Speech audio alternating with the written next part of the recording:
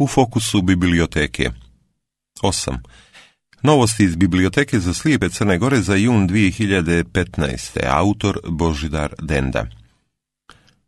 U ovom izvještaju daćemo hronološki pregled aktivnosti Biblioteke za slijepe Crne Gore u toku juna 2015. Delegacija Sveruskog saveza slijepih i slabovidih, koju je predvodio predsjednik Aleksandar Neumivakin, posjetila je našu biblioteku u utorak 9. juna ove godine. Oni su tokom više časovne posjete najprije obavili razgovore u direkciji biblioteke, gdje ih je primio direktor Božidar Denda, a potom su obišli odjeljenja i sektore u našoj ustanovi gdje su se upoznali sa zaposlenima i načinom rada i funkcionisanju u svakom od odjeljenja. Gosti su izgazali visoke ocjene na račun rade biblioteke i ostvarenih rezultata u dosadašnjem periodu i iskoristili priliku da sa službenicima biblioteke podijele svoja iskustva iz više oblasti u Rusiji. Naime, u delegaciji Sverskog saveza bili su predstavnici raznih regija kao što su Moskovska oblast, San Peterburg, Kazanj i Tverska oblast. Gosti su također iskoristili priliku da održe i neke od prezentacija o aktivnostima koje realizuju u pojedinim oblastima i gradovima Ruske federacije na planu napređenja uslova života i rada za osobe oštećenog vida na nivou urbane infrastrukture, biblioteka kao i obrazovnog sistema. Uručili su poklone za našu ustanovu i izrazili nadu da će imati priliku da budu ulozi domaćina u Rusiji gdje bi mogli da nas neposrednije i bliže upoznaju sa tamošnjim prilikama i svojim radom. Predsjednik Sveruskog saveza slijepih Aleksandar Neumivakin govorio je za slušalce radija Homer o sebi i organizaciji na čijem je čelu, kako kroz istoriju, tako i danas. Delegacija Sveruskog saveza slijepih posjetila je našu biblioteku u okviru više dnevne studijske posjete Crnoj Gori od 7. do 12. juna ove godine. To je bila uzvratna posjeta Savezu slijepih Crne Gore u okviru koje su obišli više gradova i institucija za slijepe i slabovide u našoj zemlji. 50. jubilarno izdanje našeg časopisa Glasi izašlo je iz štampe početkom juna sa velikim brojem pisanih i audio priloga, raspoređenih u sedam oblasti. Projekcija domaćeg filma Šmeker u prilagođenoj verziji za naše korisnike održana je u sali biblioteke za slijepe Crne Gore u ponedjeljak 15. juna sa početkom u 19 časova. Interaktivnu adaptaciju filma uživo je radio naš saradnik profesor Igor Tomić. Ovim je okončan filmski repertoar u okviru proljećnog izdanja našeg umjetničkog programa. Naredna projekcija očekuje se krajem septembra ove godine. Domaći film Šmeker iz 1986. godine priča o momku odraslom na ulici i po barovima gdje upoznaje djevojku sa sličnom životnom pričom.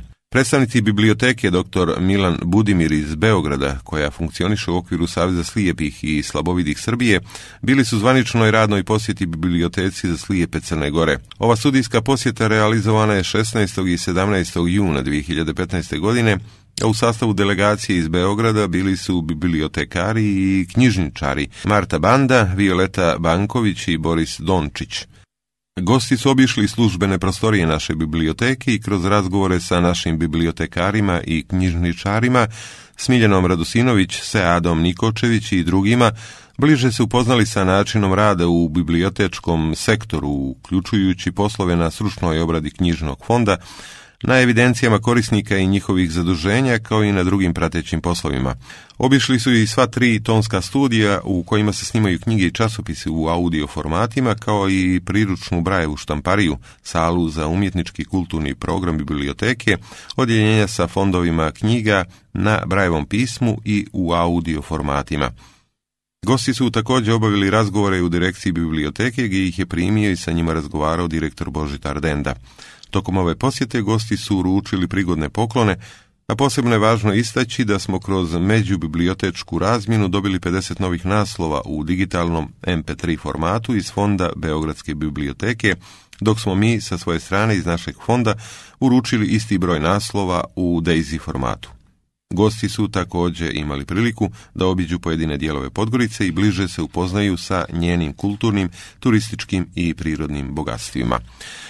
Ova posjeta realizovana je u skladu sa ranije postignutim dogovorom između rukovodstva Saveza slijepih Srbije i naše ustanove i trebalo bi da predstavlja početak još tješnje i kvalitetnije saradnje koja postoji od početka rada i djelovanja biblioteke za slijepe Crne Gore. Tokom mjeseca juna snimljene su tri knjige u Daisy formatu i to Teodora, posljednja rimska carica, Stella Duffy, 50 nijansi oslobođeni, L. James i krive su zvijezde John Green. Jedna je oštampana na Brajevom pismu, neko zove Zudje Hođića. Naša biblioteka je tokom mjeseca juna donirala deset naslova u audio formatu Resursnom centru za djecu i mlade Podgorica. Ove knjige donirane su na molbu upravi iz ove škole u kojoj se obrazuju djeca sa oštećenjem vida kao i učenici sa drugim smetnjem u razvoju. Knjige su uručene učenicima koji su u školsku 2014-15 završili odličnim uspjehom. Među odabranim naslovima nalaze se knjige iz programa školske lektire za osnovnu i srednju školu, kako za one najmlađe, tako i za nešto starije. Ovim se na najbolji način nastavlja od ranije uspostavljena saradnja naše dvije institucije. Književno veče poznatog i nagrađivanog pisca Zudije Hođića održano je u multimedijalnoj sali naše biblioteke u srijedu 24. juna 2015. godine sa početkom u 19 časova. Povod je bila promocija knjige priča, neko zove Zudije Hođića, koju smo nedavno priredili na Brajevom pismu. O Hođićevoj knjizi govorio je književni kritičar Vlatko Simunović. Odlomke iz knjige kazivo je glumac Dejan Đonović, a učenik Mirne Sramović pročitao je na Brajevom pismu odlomak iz istog dijela. Program je uredila i vodila Smiljana Radusinović.